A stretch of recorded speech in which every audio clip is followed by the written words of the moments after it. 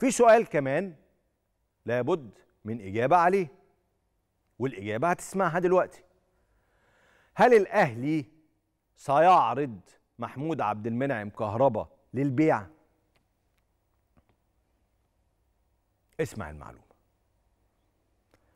الأهلي كسب الزمالك في نهائي السوبر المصري كهربا عنده فرصة إنه يكمل مع الأهلي. كهربا عنده فرصة إنه يكمل مع الأهلي.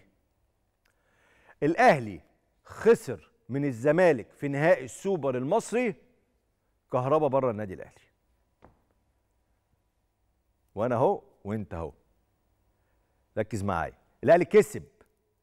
الزمالك كهربا وارد مش أكيد يكمل. الأهلي خسر من الزمالك كهربا خارج الأهلي. أنا بصراحة مش جاي على كهربا بس أنا بحترم الانضباط وبحترم الانضباط دايما اللي بيعمله النادي الأهلي. هو ليس دفاعا على قرار النادي الأهلي وليس هجوما على كهربا. أحب الانضباط. أنا يكيفني لما أشوف قرارات انضباطية. فكرة بقى إنه إيه يا عم عديله المرة دي يا سيدي طب ما تسيب لفلان يا سيدي ما ما الدنيا ماشية وحلوة ولذيذة ما, ما نعديها لبعض. مفيش الكلام ده بقى في الأندية الكبيرة. وده مش متعودين عليه في النادي الأهلي بصراحة تاريخيا.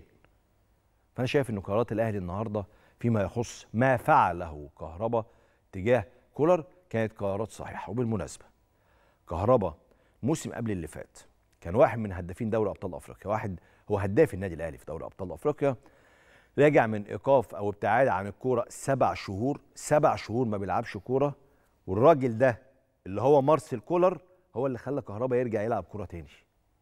خلاه نجم تاني. كهربا مقصر في حق نفسه كلنا متابعين كهربا. كهربا لما بينزل من على الدكة نازل زعلان مقريف متضايق آه غضبان. ينزل الملعب فرص في منتهى السهولة بيضيعها. مفيش تركيز. فكرة إن هو يا تلعبني أساسي يا مش هتاخد مني حاجة دي مش هتبقى مش تبقى موجودة. مش تبقى موجودة وما تطلبهاش. مش هتحصل يعني. مع مارسيل كولر فكهربا هو اللي مقصر في حق نفسه بصراحة. ده بكل حيادية والله. ومش جاي على كهربا زي ما بقول لك أنا عارف إن هو بني آدم طيب ولعيب طيب كده وانفعالاته على نياته يعني. بس بس ده مش عذر ابدا يعني. من لاعب كبير دولي وله خبراته.